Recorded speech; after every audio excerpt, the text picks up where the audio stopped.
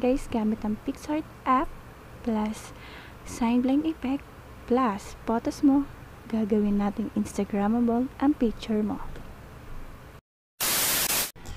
So, yan guys. ah punta lang kayo sa Google Chrome. Then, search nyo lang Sun Blend Effect. Then, lalabas yung image na yan. Download nyo lang yan.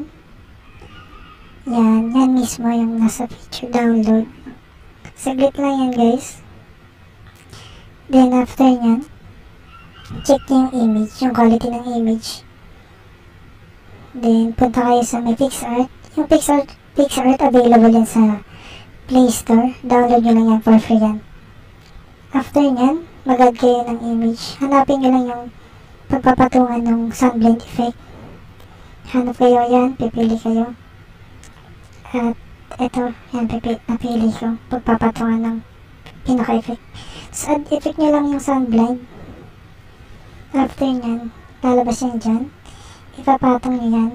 Then, i-fix nyo yan mismo dun sa picture na pagpapatungan mo. Dapat, ah, nakafit siya ng maayos para gumana yung pinaka-effect. Then, checkin yung occupac- occupacity ng ng ano, pinaka-effect. Yan, babaan, taasan nyo lang yan. Kuhain nyo na yung pinakatamang timpla ng pick nyo. Then, after pag, ayan, titimplahin nyo pa.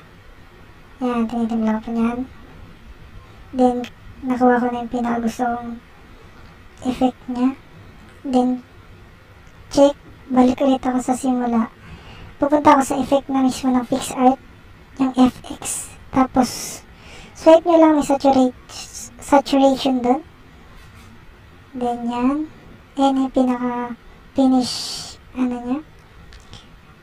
Save nyo lang yan, guys. Tapos makikita nyo mamaya, ipapakita ko yung pinaka finish ano natin. Yan. Thank you for watching. Sana nag-enjoy ka sa panonood ng video ko and stay ka lang para sa susunod ko pang mga video. And please don't forget to subscribe to my channel. And please don't forget to click the notification bell para palagi kang updated sa akin. And please like my video.